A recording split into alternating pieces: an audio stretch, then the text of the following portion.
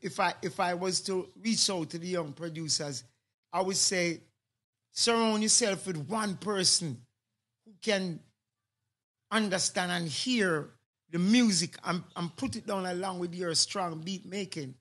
You understand me? Mm-hmm. Because sometimes with Fruity Loops or whatever, you know, platforms you use, you're dragging and dropping. And then Yeah. sometimes you might not, you do uneven bars or, you know what I mean? It just don't sometimes say, hey, that don't sound right. That don't feel right, man. So mm-hmm. you go till you find the nerve center, you go and you keep going till you find it. But if you surround yourself with one kid, because the thing I, I like with the, the young youth who producing with a hip hop or reggae is that they, they, they got quick movements. You understand me? Right. And sometimes when they jump too quick, mm-hmm.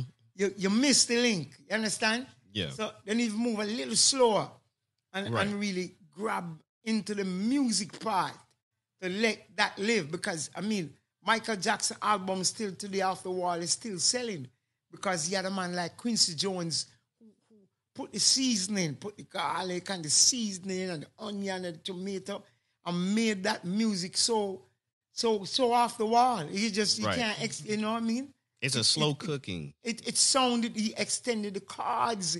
He put stuff on it where you understand it's eight notes in the scale, but your right hand can find the seventh, the twelve, the thirteen.